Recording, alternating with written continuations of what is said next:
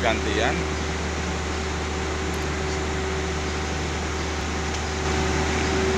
ini melalui sana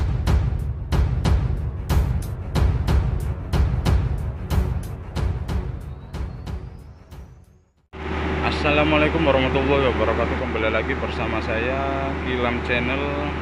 Ya berada di pabrik kelapa sawit ini. Ini Alat untuk Menaikkan kernel Dan cangkang yang sudah dipecah dari rubber mill Melalui paket ini Melalui elevator Brut mixture. Untuk elevatornya Bracket mixture. Pakai paket ini. Dan ditransfer melalui kompeor bawah sana. Ke arah bawah. Kita pakai fruit mixture transfer melalui kompeor kompeor naik ke paket ini. Paket elevator ini paketnya. Dan diolah ke LTDS Kulom LTDS 2 ditarik ke LTDS 1 dan ditarik ke LTDS 1 bawa pakai kompeor untuk ke diolah dipisahkan di arah bencana nanti ke arah kelebat. Ini agak sprocket sistemnya sprocket rantai. Biar dapat dia untuk untuk pengangkutannya memakai paket sistem paket ini sistem paket ya teman-teman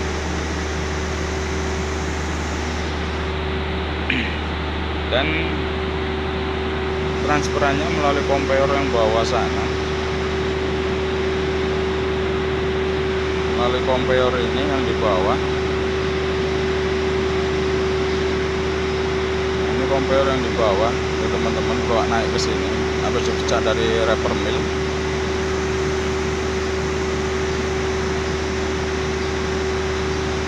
Melalui kompeor bawa transfer ke arah elevator ini. Untuk diangkut melalui paket-paket ini nanti ditransfer ke arah LTDS 2 dibagi tarik sama LTDS 1 nanti. Menghindari losisnya. Melalui LDDS ini buang sampahnya yang kecil-kecil itu sekarang ketarik untuk pembakaran ke boiler juga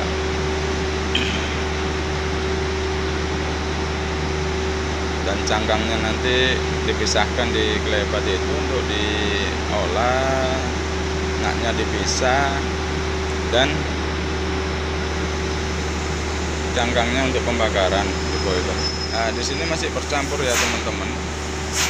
Cangkang sama nut masih bercampur jadi satu dibawa naik ke sini.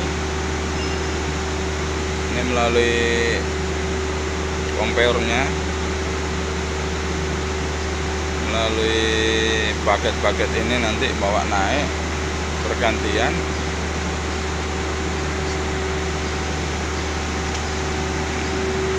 melalui sana yang dari bawah sana bawa naik pemecahannya melalui reper nah untuk losisnya nanti di bawah sana pakai grinding drum kecil dipisahkan lagi.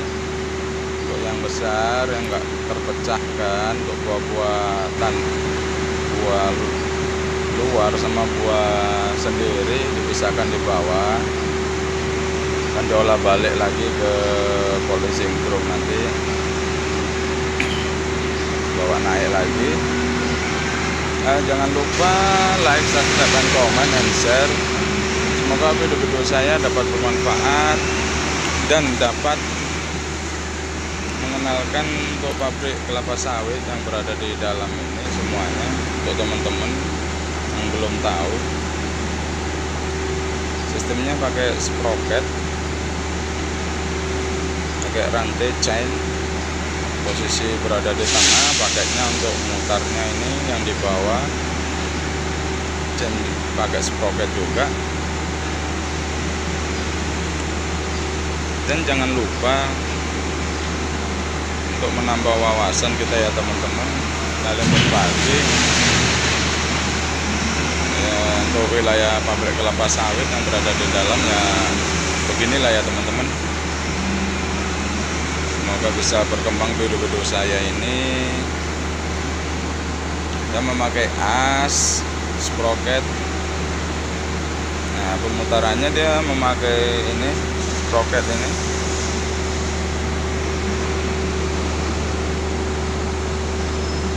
Motorannya ada motoran sama sprocketnya untuk mutarkan ke atas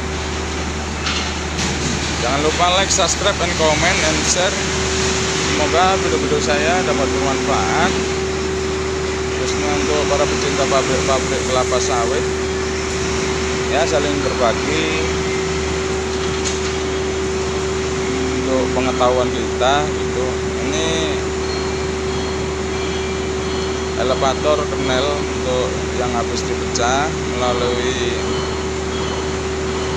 reper mill sana melalui kompeor dibawa transferannya melalui kompeor daun kompeor dibawa masuk ke paket elevator ini dan dipisahkan melalui